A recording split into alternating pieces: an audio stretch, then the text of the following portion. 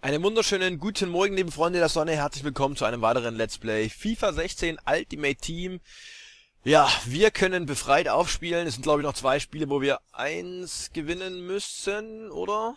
Genau, also entweder die letzten beiden Spiele eins gewinnen oder beide unentschieden spielen, aber ja, wir haben bisher gerade mal ein Unentschieden geschafft in der Saison, deswegen sollten wir wohl eher auf den Sieg gehen und am besten direkt im ersten Spiel.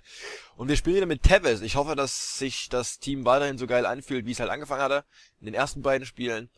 Und wir können mit der Saison ziemlich zufrieden sein, haben relativ schnell die Klasse gehalten, hatten natürlich auch Glück, aber ich würde sagen, es war Glück des Tüchtigen. Ich habe versucht, in jedem Spiel ruhig zu bleiben, auch wenn es überhaupt nicht lief, auch wenn ich überhaupt gar keine Chancen gehabt habe, auch wenn der Gegner mich absolut dominiert hat. Und ja, es gab zwei Spiele, die ich dadurch noch gewonnen hatte, ob, also unverdient. Das eine Spiel hätte unentschieden ausgehen müssen, das habe ich gewonnen. Das andere Spiel hätte ich sogar verlieren müssen, das habe ich gewonnen. Und das lag einfach nur daran, weil ich eben hart geblieben bin. So, wir haben jetzt auch jeden dem Champions League Style gegeben. Das heißt einmal, einmal Catalyst links und einmal Catalyst rechts, also Tempo und Pass verstärkt. Pereira hat Schuss und Pass bekommen und ja, Tepes haben wir jetzt schon seit Anfang an. Tempo, Schuss, Physics, da wusste ich eh nicht so richtig, was ich ihm da geben soll, weil bei ihm eigentlich jeder Wert, der relevant ist, schon geil ist.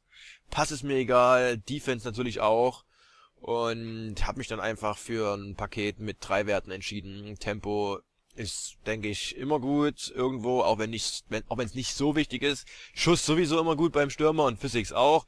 Dribbeln kann er schon sehr gut. Natürlich kann er auch schon sehr gut schießen, ist schon sehr schnell und hat schon eine gute Physis, aber ja, ist egal, wenn halt alles bei ihm gut ist, irgendwas möchte ich halt trotzdem verbessern. Ich könnte hätte auch Basic lassen können, aber dann wird halt auch so ein Wert wie Defense und Pass gestärkt, was ich ja gar nicht möchte. So, schneller Sturm auf jeden Fall mit Sturridge und Sanchez und William. Starkes Mittelfeld mit äh, De Bruyne. Ach, die anderen Namen fallen mir gerade nicht ein. Na, Fabregas und der in der Mitte fällt mir gerade nicht ein. Ja, aber ihr kennt sie alle, war ein sehr gutes Team auf jeden Fall. Aber ruhig bleiben, konzentriert spielen. Und wenn ich jetzt die beiden letzten Spiele in der Saison verliere, scheißegal. Silva, genau, Thiago Silva, äh, Thiago Silva.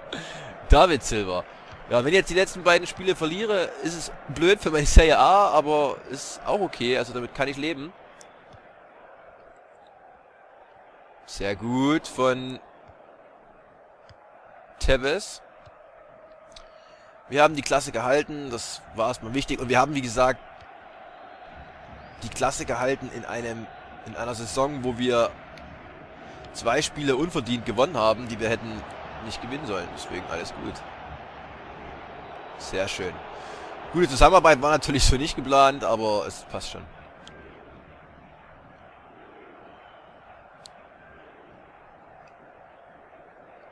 Ich glaube, der Gegner ist einer von der aggressiven Sorte. Schöner Pass auf Ansaldi. Ich wollte eigentlich in den Rückraum spielen auf Pereira, deswegen war ich überrascht, dass... Deswegen war ich so überrascht, dass äh, Tevez plötzlich den Ball hatte. Und deswegen habe ich nicht schnell genug abgeschlossen, muss ich zugeben. Also habe ich wahrscheinlich wieder mal eine... Habe ich wahrscheinlich wieder mal eine, einen Scorerpunkt meinem lieben oh, Tevez geklaut.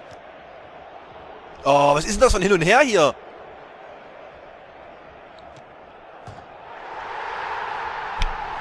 Er macht natürlich das Tor, aber das war jetzt echt ein totaler Slapstick. Hin und her, hin und her, hin und her.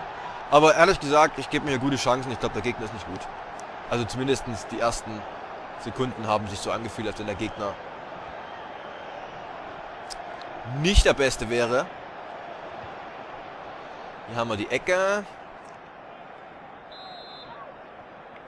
Die hoffentlich auch gleich rein geht. Schade, da ist natürlich auch keiner von mir.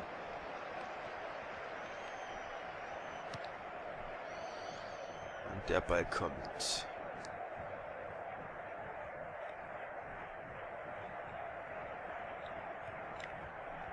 Ja, er hat jetzt so lange gewartet mit seinem... Oh, ich wollte schon sagen, nicht direkt noch so ein Ding. Hat relativ lang gewartet mit seinem äh, Rumgealber mit Alexis Sanchez, wodurch halt meine Verteidigung Zeit hatte nachzurücken. Kam dann leider trotzdem zu einem guten Abschluss. Komisch, dass sich hier William noch durchsetzt, aber ist mir erstmal egal. Nichts passiert.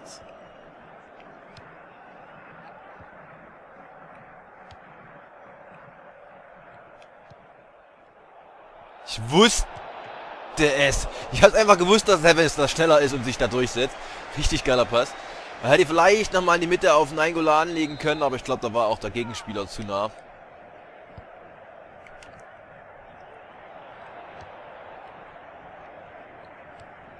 Also wahrscheinlich war das schon die richtige Idee, da mit Tevez abzuschließen. Nein! Oh, was ist das denn? Nicht aufregen, wichtig. Sehr gut. Ach nein, durch die Beine. Nicht so gut. Wegen das halt super schnell und aggressiv, ist eigentlich meistens schön ist, wie man jetzt hier auch gerade sieht, aber manchmal geht's halt... Oh, manchmal geht's dann halt einfach zu schnell und man bekommt ein Tor, wie jetzt von Sanchez, was, ja, ärgerlich war. Ich würde auch nicht sagen, dass es schön rausgespielt war. War einfach Glück, dass da ständig Ping-Pong Ping-Pong gespielt wurde. Und der Ball dann halt schnell wieder weg war. Oh nein, da war Lichtsteiner direkt tatsächlich nochmal dran. Nach der Grätsche.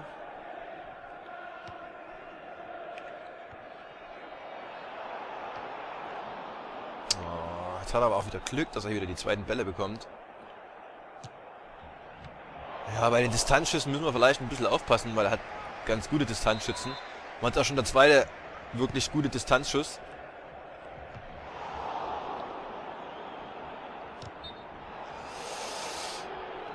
Ich versuche mal hoher Druck. Ich versuche mal hoher Druck. Wir können eigentlich mal auf Offensiv gehen. Hm, es ist irgendwie eine sehr ungünstige Position, muss ich zugeben.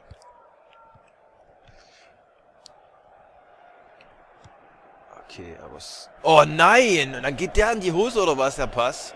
Das ist natürlich sehr ärgerlich.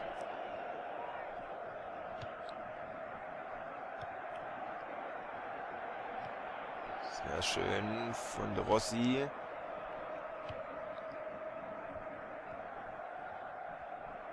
Auf Ansaldi.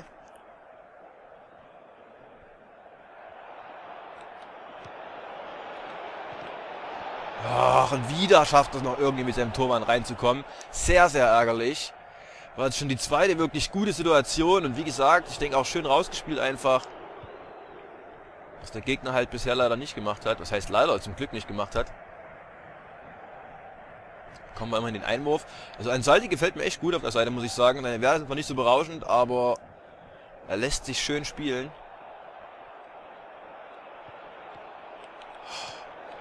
Abgeprallt, leider. Da lag diesmal die, ja, Glück gehabt, lag diesmal die Ballannahme unserem Torschuss im Weg. Aber wie gesagt, wenn das so weitergeht, ich traue mir hier auf jeden Fall noch zu, das Spiel zu drehen, wenn ich ehrlich bin. Es ist einfach so leicht, gegen ihn hier durchzukommen. Über außen, okay, das hat er mal besser verteidigt, aber sind wir eigentlich schon wieder durch. Ah, diesmal wollte ich gerade noch schnell in die Mitte ziehen, hat nicht ganz geklappt. Und wir waren zuletzt dran, ärgerlich. Ich will natürlich auch mal wieder versuchen, durch die Mitte zu kommen, aber er macht es mir halt einfach über außen so leicht. Was soll ich da machen?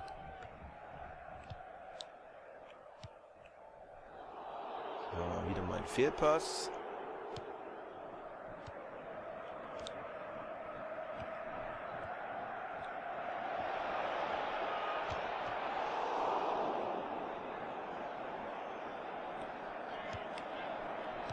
Och, Mann. Also Tevez war wieder schön durch. Es war natürlich ein schwerer Winkel, um da ein Tor zu schießen. Deswegen mache ich ihm da auch keine Vorwürfe, dass er es nicht geschafft hat. Aber oh, der Tormann halt schon... Was war das denn? Der Tormann halt schon wieder sehr gut sehr gut reagiert auf jeden Fall. Aber wie gesagt, ich mache mir überhaupt keine Sorgen. Ähm, der Gegentreffer war ärgerlich. Ich denke, ich bin der bessere Spieler, auch wenn es irgendwie gar nicht danach aussieht. Weil, aber wie gesagt, dürfen wir nicht vergessen, seine Schüsse sind halt zu 90% Distanzschüsse gewesen.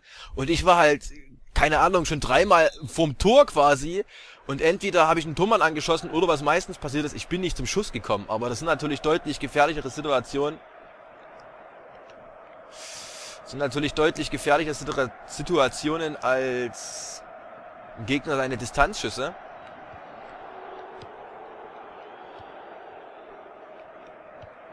Schade. Hat leider zu lang gedauert.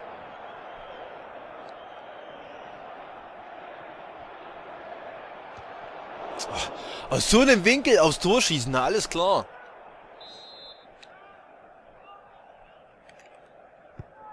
Ich wusste es, dass er dahin spielt. Oh nein.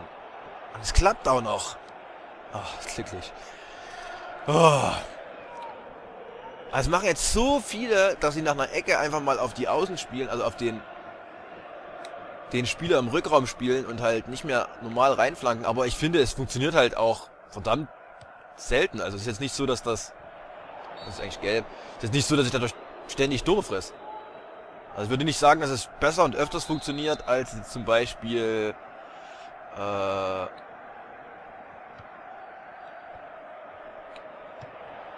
Oh, als jetzt zum Beispiel eine normale Flanke, also eine normale Ecke. Deswegen, ja. Mache ich es dann eigentlich lieber so. Oh nein, oh nein, oh nein, oh nein, oh nein. Oh, zum Glück.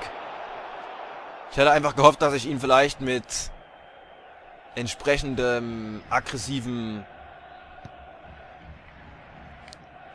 Anlaufen so verwirren kann, dass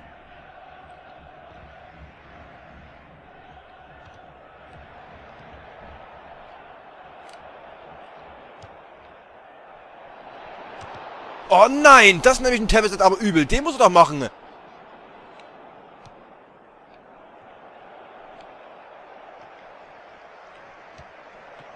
Oh, krasser Schuss von Ansaldi erstmal, aber auch gut gehalten. Ach Mann, also den hätte Tevez echt machen können. Was für eine Parade von Tschech wieder mal. Lasst mich raten. Tschech wird am Ende wieder... Wird am Ende wieder bester Spieler.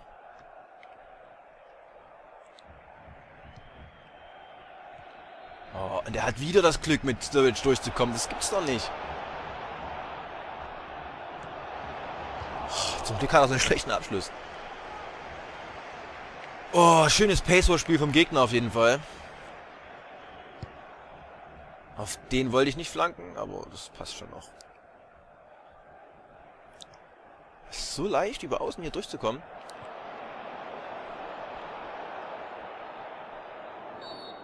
Foul. So, jetzt bitte mal der Ausgleich, wenn es geht.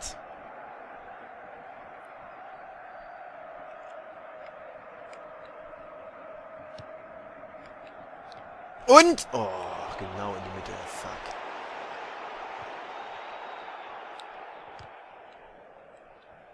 Sehr gut von Lichtsteiner. Hatte Rossi einfach viel zu lange gebraucht, um den Ball unter Kontrolle zu bekommen, leider.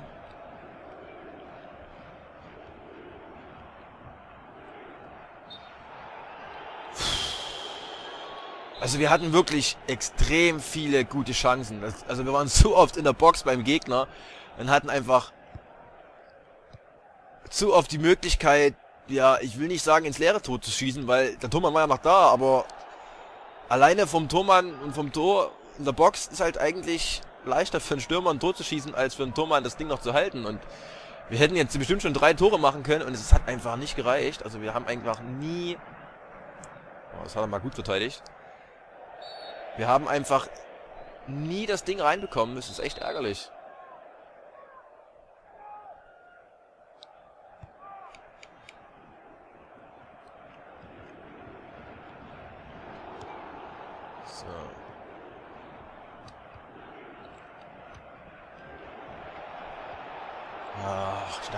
durch.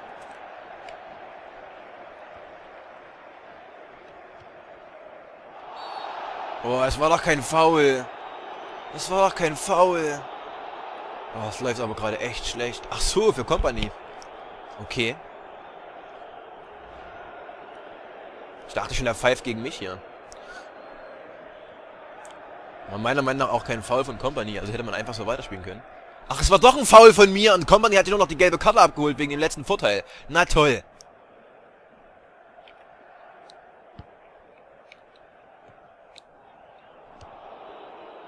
Wenigstens noch der Ausgleich, komm schon.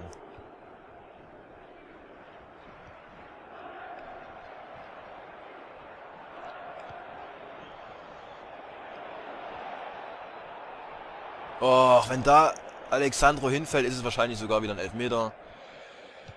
Ach, Mann, Mann, Mann.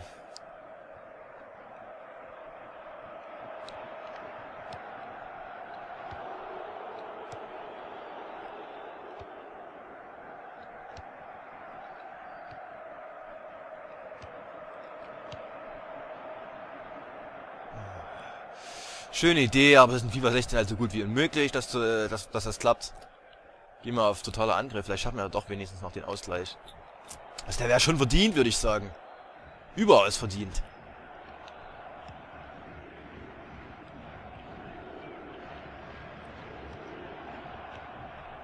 Ja, vielleicht mache ich es gerade wieder zu kompliziert, ich weiß es nicht.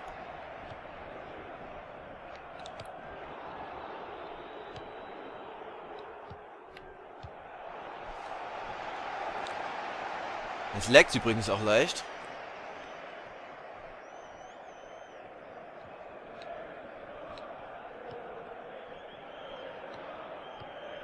Oh, das sollte er nicht hin, deswegen kann dann auch der nächste Pass scheiße.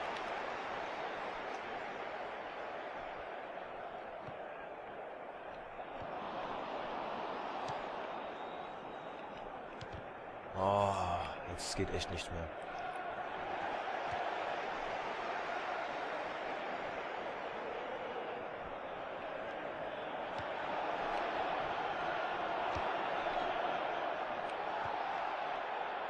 Was sind denn da jetzt für Pässe? Vielleicht liegt es auch wieder an der Ausdauer, ich weiß es nicht. Also, meinen Augen kein verdienter Sieg für den Gegner hier. Ich hatte so viele gute Chancen, aber ja, und Tevez hat wie gesagt eine nicht genutzt. Oh, ich meine, Tevez hatte mehrere Chancen, wo er einfach mal hätte zeigen können, dass er so einen geilen Abschluss hat. Das ist echt schade. Tevez hat ja auch einen geilen Abschluss und wie gesagt, das ist einfach wieder mal das Problem. Die Torhüter sind overpowered. Tschech hat einfach zu krasse Paraden rausgehauen. Ja. Naja, jetzt hat der Gegner immerhin schon immerhin schon drei, äh, ja doch, drei Alu-Treffer, aber einer davon war mit Tor, also zwei Alu-Treffer, kann man sagen. Schon wieder so ein Pass zum Kotzen. Einfach nur zum Kotzen.